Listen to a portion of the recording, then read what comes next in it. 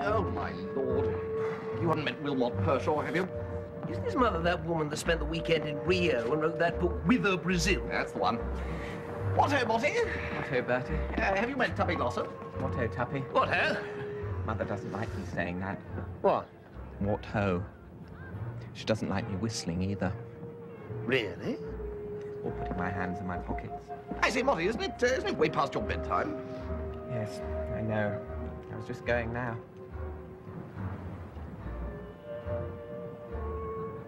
Pip, pip.